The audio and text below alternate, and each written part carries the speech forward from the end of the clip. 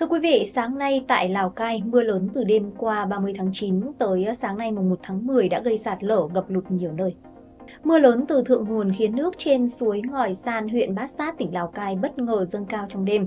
Hàng chục hộ dân tại huyện Bát Sát, tỉnh Lào Cai đã khẩn trương di rời người và tài sản. Lãnh đạo Ủy ban nhân dân xã Quang Kim, huyện Bát Sát, tỉnh Lào Cai cho biết có 36 hộ dân bị nước ngập, ảnh hưởng nhà cửa. Đây là trận lụt thứ hai xảy ra trong năm và trong khi vẫn chưa khắc phục được thiệt hại của trận lụt vào đêm 8 tháng 9. Từ sáng nay nước bắt đầu rút, các lực lượng tại chỗ đang tập trung hỗ trợ người dân dọn dẹp, ổn định lại đời sống.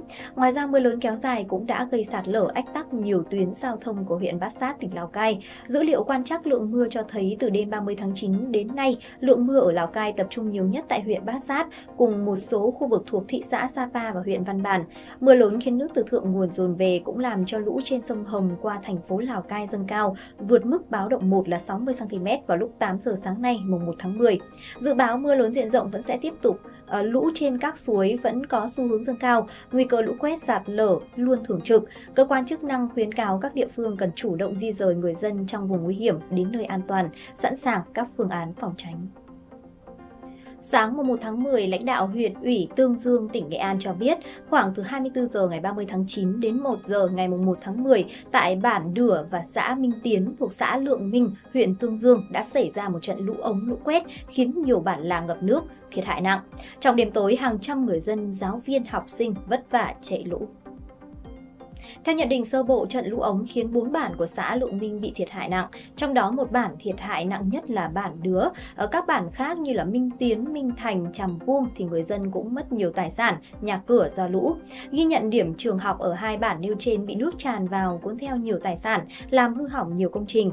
Sau khi nhận được thông tin, Ban Chỉ huy Phòng chống thiên tai xã Lượng Minh đã chỉ đạo huy động lực lượng sơ tán dân khẩn cấp.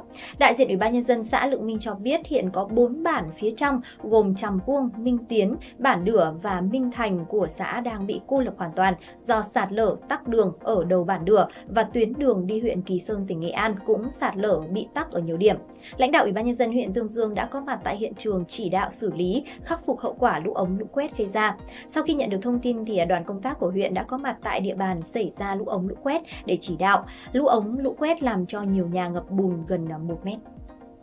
Trung tâm Dự báo Khí tượng Thủy văn Quốc gia đã phát hành bản tin khẩn cảnh báo về tình hình lũ trên sông Cửu Long vào ngày 30 tháng 9. Mực nước trên các nhánh sông Tiền và sông Hậu đang lên nhanh chóng, chủ yếu do ảnh hưởng của chiều cường kết hợp với dòng lũ thượng nguồn. Theo ghi nhận vào ngày 29 tháng 9, mực nước cao nhất tại trạm Tân Châu trên sông Tiền đã đạt 3,28 m, chỉ còn cách báo động 1 là 0,22 m. Trong khi đó, mực nước tại trạm Châu Đốc trên sông Hậu là 2,95 m, gần chạm ngưỡng báo động 1, chỉ thấp hơn 0,05 m. Dự báo trong những ngày tới, mực nước đầu nguồn sông Cửu Long sẽ tiếp tục tăng. Đến khoảng từ ngày 4 đến ngày 6 tháng 10, mực nước cao nhất tại Tân Châu và Châu Đốc có khả năng đạt hoặc vượt ngưỡng báo động 1. Sau đó, quá trình dâng nước sẽ chậm lại nhưng vẫn tiềm ẩn nhiều nguy cơ. Các chuyên gia cảnh báo rằng các vùng trũng thấp ven sông ngoài đê bao tại các tỉnh An Giang, Đồng Tháp, Long An sẽ đối mặt với nguy cơ ngập lụt cao. Ngoài ra, các tỉnh hạ lưu nguồn sông Cửu Long cũng cần đề phòng tình trạng sạt lở bờ bao, đặc biệt là những điểm có đê bao yếu. Bộ đội Biên phòng Quảng Ngãi cho biết đang xác minh và làm rõ việc tàu cá Quảng Ngãi đang hành nghề tại khu vực quần đảo Hoàng Sa thì bất ngờ bị tàu nước ngoài tấn công khiến 10 ngư dân bị thương.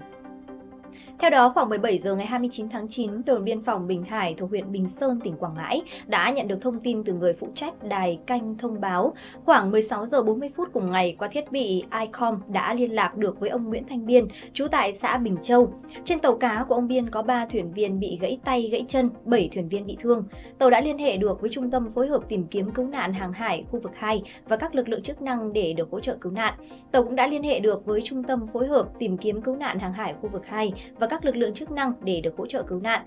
Vụ việc đang được Bộ đội Biên phòng Quảng Ngãi tiếp tục xác minh làm rõ, bảo vệ tính mạng và tài sản của ngư dân Quảng Ngãi khi hành nghề trên vùng biển thuộc chủ quyền của Việt Nam.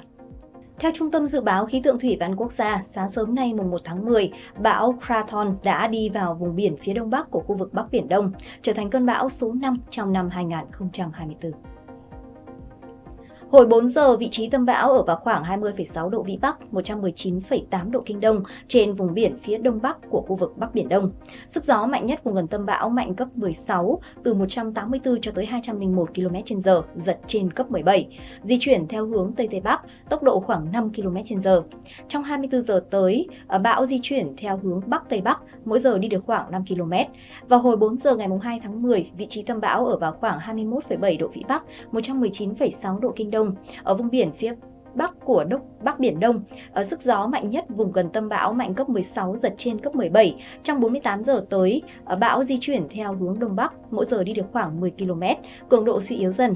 Và hồi 4 giờ ngày 3 tháng 10, vị trí tâm bão ở vào khoảng 23,3 độ Vĩ Bắc, 121,1 độ Kinh Đông, ở khu vực trên đảo Đài Loan, Trung Quốc. Sức gió mạnh nhất vùng gần tâm bão giật cấp 13, cấp 16. Trong 72 giờ đến 120 giờ tới, bão di chuyển theo hướng Đông Bắc, mỗi giờ đi được khoảng 10 km đến 15 km, tiếp tục suy yếu vào thêm. Vào hồi 4 giờ ngày 4 tháng 10, vị trí tâm bão ở vào khoảng 25,1 độ Vĩ Bắc và 123 độ Kinh Đông, ở vùng biển phía đông bắc đảo Đài Loan, Trung Quốc. Sức gió mạnh nhất vùng gần tâm bão mạnh cấp 10 giật cấp 12. Do ảnh hưởng của bão số 5 nên vùng biển phía đông bắc khu vực Bắc Biển Đông, phía bắc vĩ tuyến 18, phía đông kinh tuyến 116,5, sức gió mạnh cấp 10 đến 13, vùng gần tâm bão giật cấp 14 đến 16, giật trên cấp 17, sóng biển cao từ 7 cho tới 9 mét, biển động dữ dội. Tàu thuyền hoạt động trong các vùng nguy hiểm nói trên đều có khả năng chịu tác động của rông lốc, gió mạnh và sóng lớn. Chiều 30 tháng 9, 40 cán bộ chiến sĩ Lữ đoàn đặc công Hải quân 126 cùng với phương tiện chuyên dụng đã có mặt tại hiện trường vụ sập cầu Phong Châu để phối hợp với địa phương tìm kiếm nạn nhân mất tích. Trong đó có 30 người đặc công người nhái, 15 bộ máy lặn hở đồng bộ và các trang thiết bị bảo đảm khác. Dự kiến trong sáng nay, lực lượng đặc công người nhái sẽ dùng khí tài lặn kết hợp với các phương tiện hiện có, hiệp đồng chặt chẽ với các lực lượng tại hiện trường thực hiện lặn tìm kiếm ở khu vực cầu Phong Châu. Để tăng cường lực lượng tìm kiếm nạn nhân bị mất tích và phương tiện, quân chủng Hải quân đã điều động 30 cán bộ chiến sĩ Lữ đoàn 126 đến phối hợp với địa phương để tìm kiếm. Đơn vị sử dụng 30 thợ lặn, 15 bộ máy lặn hở đồng bộ, à, 3 máy nén khí cơ động, 2 xuồng cao su, một buồng tăng giảm áp cá nhân, và bộ thông tin thủy âm đồng bộ và các trang thiết bị bảo đảm khác. Sau khi xảy ra sự cố sập cầu Phong Châu, lực lượng cứu nạn cứu hộ tỉnh Phú Thọ đã tìm kiếm được 4 nạn nhân, trục vớt được một xe đầu kéo. Hiện còn 4 nạn nhân và 7 phương tiện chưa tìm thấy. Ủy ban nhân dân tỉnh Phú Thọ đã đề nghị Bộ Quốc phòng quan tâm, giúp đỡ, tăng cường lực lượng chuyên trách, giúp tỉnh tìm kiếm nạn nhân bị mất tích và phương tiện trong thời gian sớm nhất. Hiện nay, Cục Đường bộ Bộ Giao thông Vận tải đã phê duyệt khoản kinh phí 9,13 tỷ đồng để triển khai trục vớt cầu Phong Châu và các phương tiện gặp nạn trong vụ sập cầu.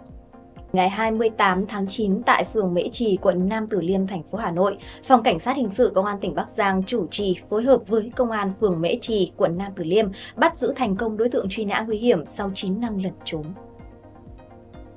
Đối tượng truy nã nguy hiểm là Nguyễn Văn Lừng sinh năm 1985, trú tại thôn Buộm, xã Thanh Lâm, huyện Lục Nam, Bắc Giang.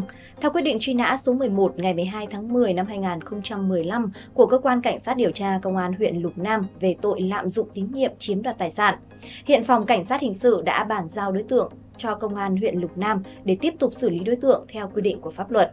Phòng Cảnh sát Hình sự đề nghị quần chúng nhân dân nâng cao tinh thần cảnh giác, tích cực tham gia tố giác tội phạm. Khi phát hiện thông tin về đối tượng truy nã, cần thông báo cho cơ quan công an nơi gần nhất để phối hợp bắt giữ.